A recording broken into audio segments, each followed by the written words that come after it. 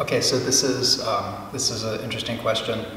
Um, do Buddhists believe in science? Um, I, you know, I should probably state in front of every video that we do here, but um, just to say it now, when I talk about what a Buddhist is or what a Buddhist believes, I can only really speak from my background, my understanding of Dharma, my lineage. So I don't, um, this channel does not speak for all 500 million Buddhists in the world, um, but I am responding to some really core beliefs of what Buddhism came from and being able to understand some of the original intent and where things have been able to move throughout the centuries and generations.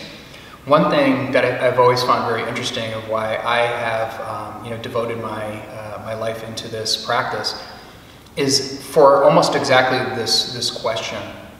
A non-theistic uh, belief system um, that does not have uh, you know, divine intervention or things that seem supernatural, even the depending on what school of Buddhism you're from and how you view who the Buddha was, um, you know, my view of these things are very much in the realm of nature and the realm of understanding the universe. Um, not supernatural, not superhuman, not from a divine source.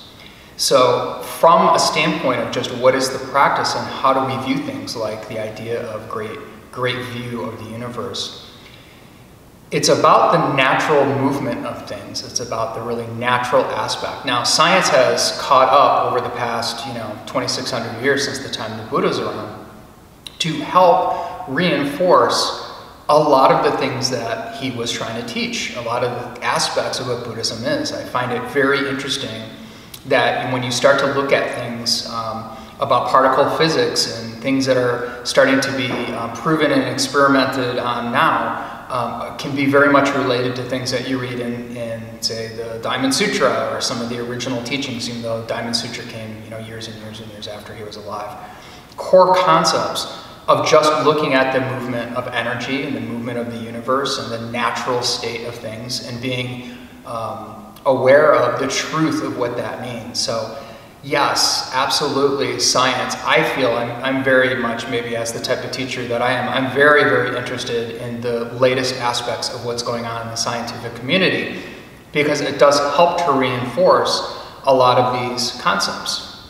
There's been great studies of what meditation can do to um, you know, your mental state, the brainwave uh, area that meditation brings, uh, brings you to, what it does physically to your body over a long period of time of um, having reduced stress and having more focus, all of these things. Understanding when we talk about concepts of rebirth and where energy goes and how it is connected to everything around us. We've had these concepts where we say everything is connected in the universe, we're all part of the same source. And then you go to science, and science can actually prove these facts out that all of the same makeup of you know what we're made out of is made up of all of these things. So I absolutely love the connection between those two things. Maybe here's the question that of why that question comes up often. If science were to prove something within our belief system, if science could prove it to be untrue, how would that affect us? I think that's really the loophole everybody's looking for. I believe that a majority, and again, I don't speak for every Buddhist in the world, but I would, I would um, believe that most, if not all Buddhists in the world, all schools, if science could prove something, they would accept it and they would change. And they would let go of those aspects of what it is. It's a natural aspect to want to not have attachment. We don't have dogma, we don't have all of these. Um, you know, set rules of, of what everything has to be until the end time. We don't have a divine intervention source that is the word of whoever it is coming uh, for us. It's very empirical in nature. It's always been very empirical in nature, and so is science. Show me the, the proof of what the aspect is. Show me the proof of the life around me, the universe around me, and that's very much what I think science is starting to help reinforce right now.